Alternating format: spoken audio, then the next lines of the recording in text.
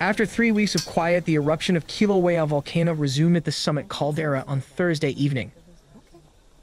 Earlier in the day, the U.S. Geological Survey's Hawaiian Volcano Observatory raised the alert level for the volcano from advisory to watch after an increase in earthquakes and ground deformation was recorded at the summit. Then, after 4:30 p.m., the eruption began. The alert level was raised to warning.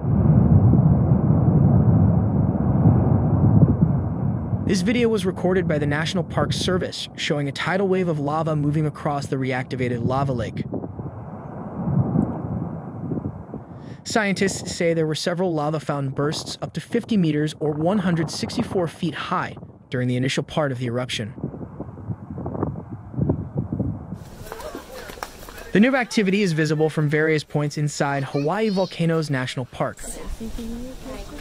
As of the evening, lava flows had inundated much of the crater floor, which is nearly 300 acres or 120 hectares. The red glow has also returned to the sky over the summit area. Officials say all activity is confined to the Kilauea summit region within the national park, and there are no indications of activity migrating out of the summit region.